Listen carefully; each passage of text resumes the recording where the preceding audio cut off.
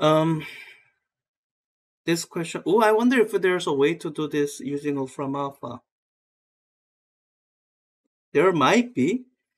let me give it a try. So uh, let me because uh, here there's a bit of an um, relationships to be aware of. So let me first write it down so that I know what I'm calculating Wolfram alpha. That's to calculate the final temperatures uh, when some amount of heat is uh, transfers into 1.5 some mass of the following uh, originally as some temperature. Um, okay, so this is the relationship between heat or heat transfer and change of temperature that you should remember from your reading that we also talked about last time. Heat transfer can be related to change of temperature by specific capacity times the amount and together these are called uh, heat capacity specific heat capacity just means uh, heat capacity per mass, or depending on co context, sometimes you might have specific heat capacity per volume. Um, but I, I hope uh, the usefulness of that concept is clear. It's like how density is useful. Um, so those times change of uh, temperature.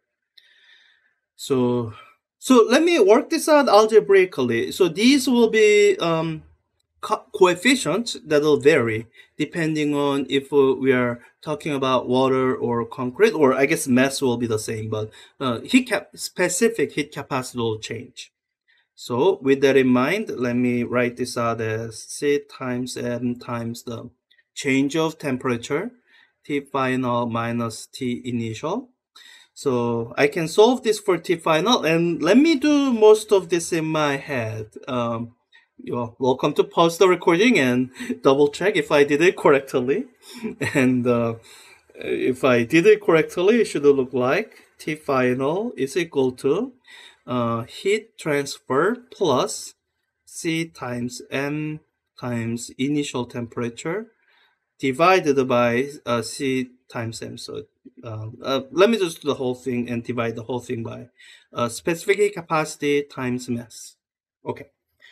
So, so that's the algebraic expression. Once you have that, then the rest is plugging in numbers.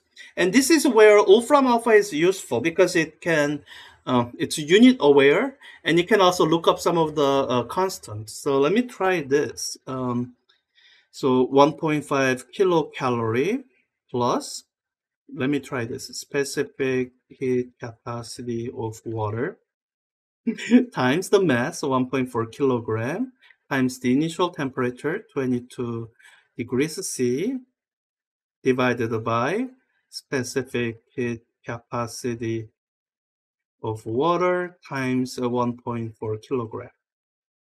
Um, the nice thing about Wolfram alpha is it'll tell you how it interpreted your input. So you can see before imbuing any meaning to its answer, you can see if it uh, understood it correctly. Okay, all right. It doesn't do this um, combination very well. so, all right, I gotta. Uh, you know what? I think it's gonna be quicker for me to have the textbook reference. So let me have that, and uh, just look up the specific capacity in the textbook, and then um, we'll go from there. Uh, specific heat. We have a table of this. Um, so we have yeah, for water. Um, so I'm going to do something that normally I wouldn't recommend, but let me do it to show off um, Wolfram Alpha's capability.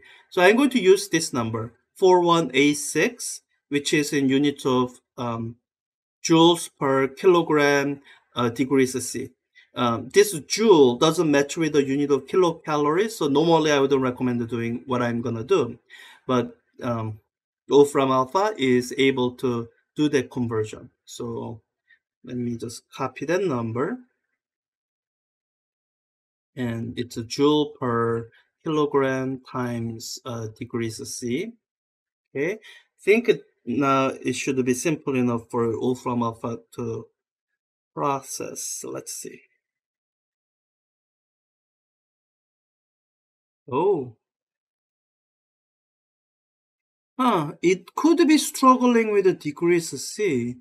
Um, I'm gonna get rid of it because my degrees C unit will cancel out uh, between that uh, denominator and um, this unit here, and my final answer is gonna be in unit of degrees C. So let's give that a try. And if it doesn't work, then I'll do this more properly. Okay, 1.5 kilocalorie. Okay, 1.4.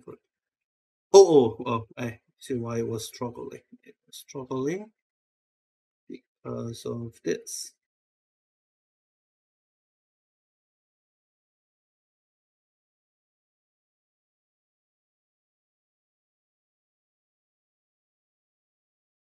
Okay, one um plus that that okay, that seems right. So and yeah, the unit is not gonna be right because um well let me put uh, try putting in the degrees C back in because it was struggling with that other um thing that was there, where I was trying to have it look up the uh, Okay, I think it might work. Uh, so um, by work, I mean I can just put in degrees to see where they are supposed to be. And if I do, then I should get my final beautiful answer in degrees C. I think, yeah, there it is, 23.1 degrees C. And double check this input interpretation, make sure that's what you meant it to do. So 23.1 uh, degrees C for water. For concrete, all right, I gotta look it up. Uh, concrete, concrete.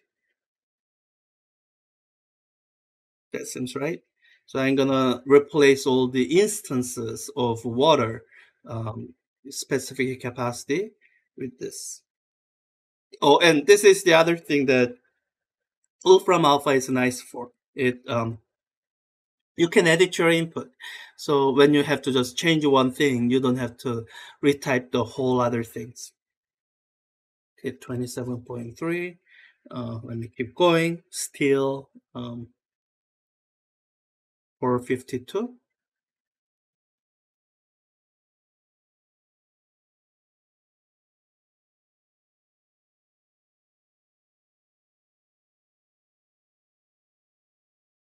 Thirty-one point nine.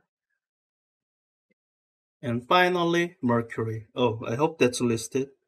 Um, yeah, Mercury 139. Are they getting smaller?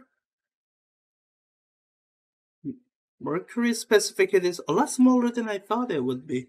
I mean, uh, I, I, don't have it memorized, which is why I'm looking it up. It is quite smaller than I thought. Uh, 54. All right, so that should be it. Um, pretty simple. Um, it, so you know you might do a little bit of algebra here, and I hope this is not uh, problematic for people in this class. But do let me know. I'm happy to do any algebra review, um, especially for steps that you see me skip because I'm doing it in my head. I'm happy to uh, do it line by line.